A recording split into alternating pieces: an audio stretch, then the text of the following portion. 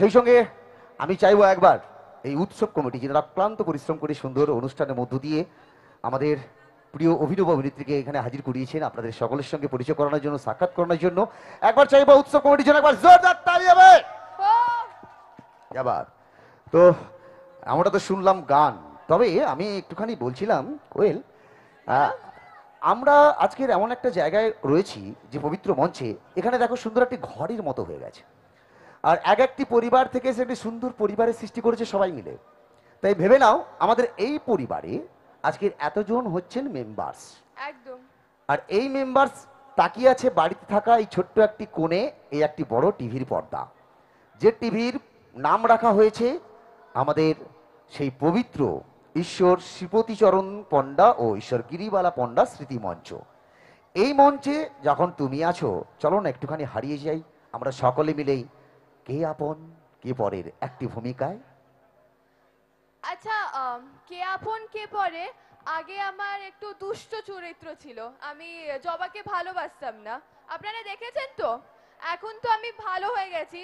তাই আমি আমি জানি যে আপনারা সবাই আমাকে ভালোবাসেন। কেন কি এখানে সবাই জবার ফ্যান তাই তো? আপনারা কি দুষ্টু কোয়েলকে একটু মিস করেন, নাকি মিষ্টি কোয়েলই ভালো লাগে? আমি জানতে চাই এখান থেকে।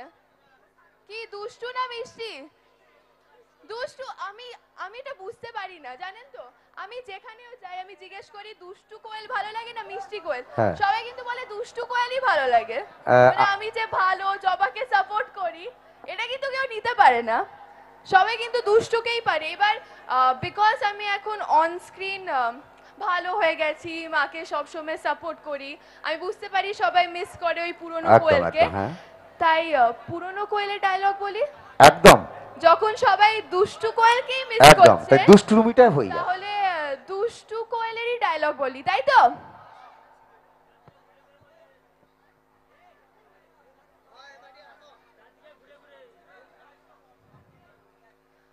জবা সেনগুপ্ত বারো বছর পর এসে তুমি কি প্রমাণ করতে চাইছো? যে তুমি আমাকে ভালোবাসো? বারো বছর পর এসে তুমি তুমি কি বলতে চাইছো? যে তুমি আমাকে ভালোবাসো? কি হয়েছিল বারো বছর আগে? কেন আমাকে ছেড়ে তুমি চলে গেছিলে? কেন আমাকে ছেড়ে তোমার নিজের ছেলে আর বরকে নিয়ে তুমি আমেরিকা চলে গেছিলে? কেন? ওই সময় তোমার আমার কথা মনে পড়েনি? ওই সময় তুমি ভাবনি? ভাবনি যে আমি একা এখানে কীভাবে থাকব? তুমি তো তুমি তো আমাকে ছেড়ে চলে গেলে। ওই সময় তো একবারও আমার কথা ভাবলে না যে আমি এখানে কি করে থাকব, কীভাবে একা থাকব, তোমাকে ছাড়া কীভাবে থাকব? তখন তো তুমি নিজের ছেলে আর মেয়ের মধ্যে ডিফারেন্সিয়েট করেছিলে। তুমি শুধু তাই জন্য, শুধু তাই জন্য নিজের ছেলেকে নিয়ে আমেরিকাতে এনজয় করছিলে। আর আমি আমি এখানে একা ছিলাম, একা নিজেকে নিয়ে থাকতাম।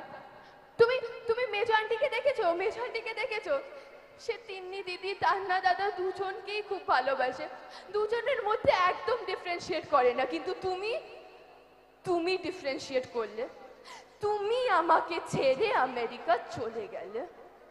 তাই আজকে বারো বছর পর এসে তুমি এটা এক্সপেক্ট করো না যে আমি তোমাকে মা হিসাবে মেনে নেব।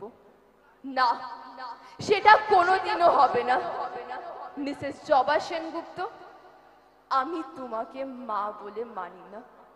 Get out get out get out from here just get out তালি হবে সকলের কাছ থেকে। ক্যা ভাত? ভালো লেগেছে তো? ভালো লাগাটা আমি সেটা এইভাবে বলব না। সত্যি কথা বলতে কি যে আমরা যেন এক মুহূর্ত হারিয়ে গেছিলাম কে আপন কে পরের যে এপিসোডটি হয়ে গেছে আগে সেটা যেন আবার ফিরে হচ্ছে আমরা দেখছি।